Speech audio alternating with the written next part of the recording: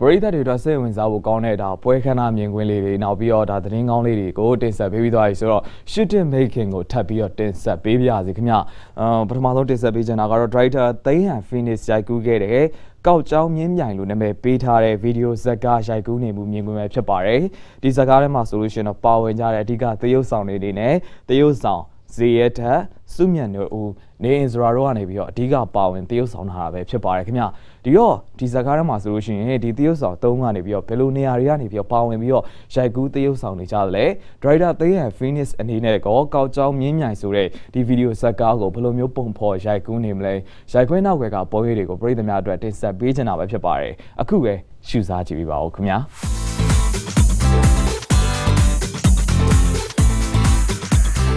ကျွန်တော်ရဲ့အနုပညာချစ်ပရိသတ်များအတွက်ဒီကနေ့မှာတော့ကောက်ကြောင်းမြင်းမြိုင်လို့အမည်ပေးထားတဲ့ဗီဒီယိုဇာတ်ကားရိုက်ကူးပုံဖော်နေတဲ့ shooting making assistant ကိုတင်ဆက်ပေးကြပါရရှင်ဒီဇာတ်ကားကိုတော့အောင်ကောင်းကြောင်အရာထဲမှာရှိတဲ့ shooting မှာရိုက်ကူးပုံဖော်နေတာဖြစ်ပါတယ်ကောက်ကြောင်းမြင်းမြိုင်ဆိုတဲ့ဗီဒီယိုဇာတ်ကားကိုတော့ director သိန်းဟန်ကရိုက်ကူးတာဖြစ်ပြီးတော့ဒီဇာတ်ကားထဲမှာဆိုရင်တော့သရုပ်ဆောင်များဖြစ်ကြတဲ့ဇေယျထက်စုမြတ်နိုးနဲ့အတူနေအစ္စရာတို့ကအဓိကသရုပ်ဆောင်နေနဲ့ပါဝင်มาလည်းဖြစ်ပါတယ်ဒါကြောင့်မလို့ဒီဇာတ်ကားရိုက်ကူးပုံဖော်နေတဲ့ဇုံးဝင်ကန်နေတဲ့အတူဒီဇာတ်ကားထဲမှာပါဝင်တဲ့အာသရုပ်ဆောင်တွေရဲ့ character ဘိုင်းနဲ့ပတ်သက်ပြီးတော့နောက်ပြီးတော့ဒီဇာတ်ကားကိုရိုက်ကူးနေစဉ်တခြားမှာဆိုရင်တွေ့ကြုံခဲ့ရတဲ့အမတ်တရရဲ့အခက်အခဲတွေနဲ့ပတ်သက်တဲ့အကြောင်းအရာများကိုပါပြည်သက်များလေ့လာနိုင်မှုအတွက်တင်ဆက်ပေးကြပါရရှင်။ဒါကြောင့်မို့ပြည်သက်များအားလုံးကဆက်လက်ပြီးတော့ကြည့်ရှုအားပေးပါအောင်ရှင်။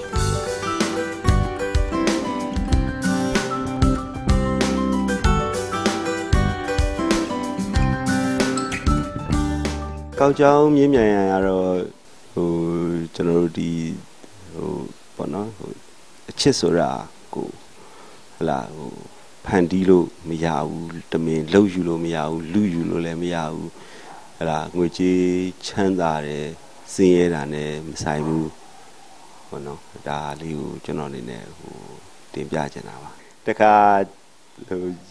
အဲရည်စရာလေးတစ်ခုပေါ့နော်ဒါအဲ့ထဲမှာကျွန်တော်တို့ဇက်ဝင်ကနေမှာ coffee shop လေးပါတယ်ဒါပေမဲ့ကျွန်တော်တို့သွားရိုက်တဲ့ coffee shop ကအစ်စ်မဖွင့်သေးဘူးမဖွင့်သေးတဲ့အတွက်အပြင်မှာပူတဲ့အပြင် coffee shop ရောက်တဲ့အချိန်မှာ air con တွေမစင်ရသေးတဲ့အတွက် တော်တော်ဟုတ်ပူတယ်ပိုးပူတယ်ပေါ့နော်ဘာလို့ဆိုတော့ coffee shop ကဆိုအမှန်လုပ်ငန်းလေးဖြစ်တဲ့အတွက်ကြောင့်ဘလို့အကိုတို့က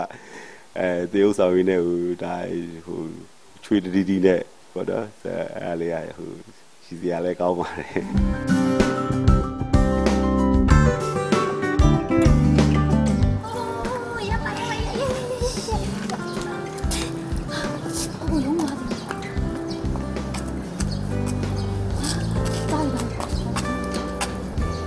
我觉得这个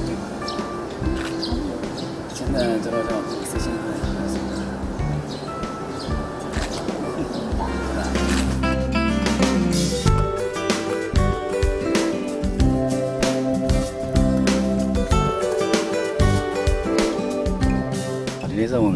ဒီကမလေးနဲ့ဒီဆိုတော့နေစရာနဲ့ပေါ့နေစရာနဲ့ကတငယ်ချင်းတွေဖြစ်နေတာပေါ့သူ့ကိုကျွန်တော်ယူတသားပဲခင်တာတငယ်ညီမလေးတယောက်လိုပဲခင်လိုက်တာသူကကျွန်တော်ကိုချစ်နေတာအဲဒါပေမဲ့ကျွန်တော်ချစ်နေတာတခြားကမလေးတယောက်အစွမြတ်တို့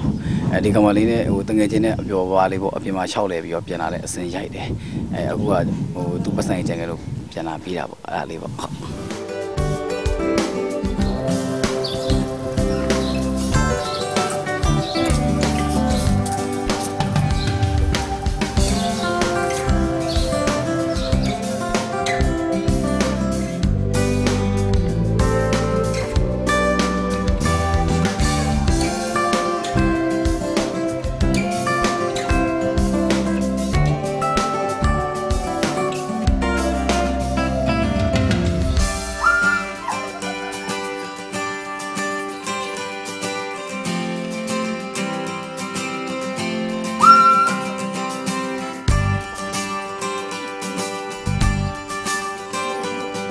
ဟုတ်ဒီထဲမှာတော့ကျွန်တော်အဆောင်နေတဲ့ရိုးရိုးအေးအေးပုံစံလေးဆိုတော့ကျွန်တော်ဒီကားထဲမှာခေါင်းဝန်းလေးနဲ့ဟို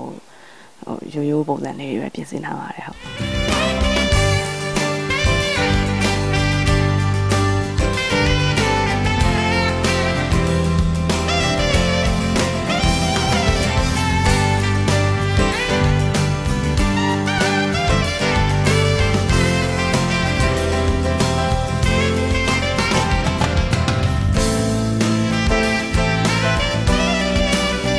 ဒီကားကလေပြီးခဲ့တဲ့နှစ်ရက်လောက်ကမှကုစုံမှုထွေးရအကြောင်းကြားတာဟဟုတ်ဟိုဘောအရေးပေါ်ပေါ့နော်လောလောလောလောဆိုတော့မနေ့ကမှအဝတ်စားရေးအစီအစဉ်ဖြစ်တာဘယ်လိုတွေနေမလဲတော့မသိဘူးပေါ့အတက်နိုင်ဆုံးတော့အဆင်ပြေအောင်တော့လုပ်ထားပါတယ်ဟုတ်ကဲ့ character ကတော့ဒီဟိုကိုရဲမွန်ကိုရဲမွန်ရဲ့ညီမပေါ့အဲ့လိုတထေးရဲ့ညီမပေါ့နော်ကိုကိုကစီပွားရေးအဲ့လုပ်တယ်အာပြီးတော့ဟိုချမ်းသာကြတယ်ပေါ့ဟိုအကိုအရန်ဆိုးတဲ့ညီမတစ်ယောက်ပေါ့ အဲ့မှာတငယ်ချင်းတွေအကူတွေကိုလည်းနည်းနည်းကြီးကြတယ်ပေါ့အဲ့လိုမျိုးကလေးတစ်ယောက်လိုဟိုချူးလေးနဲ့မတိမ်မရင်းပါပဲ character လေးရတာဟာ